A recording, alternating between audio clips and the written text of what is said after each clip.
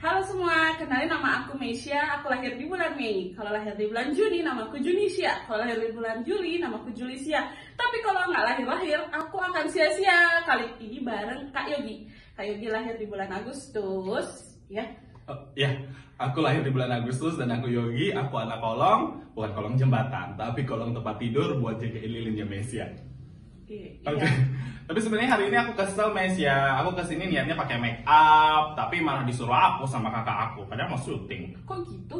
Iya katanya muka aku keputihan, cuma aku lucu aja. Masa muka keputihan kan biasanya vagina.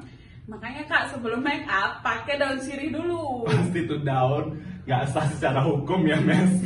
Itu nikah sirih bukan daun sirih. Ngomong-ngomong soal nikah, baru-baru ini muncul berita kalau ada suami yang meninggalkan istrinya karena dia sudah tidak perawat. Dari mana coba tuh suami tahu kalau istrinya nggak perawat? Aku tahu nih, biasanya nih kalau cewek nggak perawan tuh dilihat dari cara jalannya. Pasti jalannya ngangkang ya. Kalau gitu berarti keponakan ke satu tahun itu nggak perawat. Iya juga ya. Terus dari mana dong, Mes? Makanya harus tes dulu, nggak boleh sampai kemakan mitos. Lagian nggak setara ya. Soalnya masa cuma perempuan aja yang tinggal gara-gara nggak perawan. Berarti laki-laki boleh dong ditinggal gara-gara nggak percakap. Kasihan ya perempuan itu. Kalau bilang kasihan, lebih kasihan laki-laki. Laki-laki dipaksa untuk menjadi kuat dan juga nggak boleh nangis. Masa iya laki-laki nggak boleh nangis ngeluarin air mata? Terus nanti matanya ngeluarin apa dong? Ngeluarin air mani? Keenakan dong, Mes. Bukannya sedih, malah surat. Itu yang aku coba Wah, enak keluar air mani. Itu enak kan? memang sih ya ngomongin soal dunia ini dan manusia kadang-kadang nggak adil.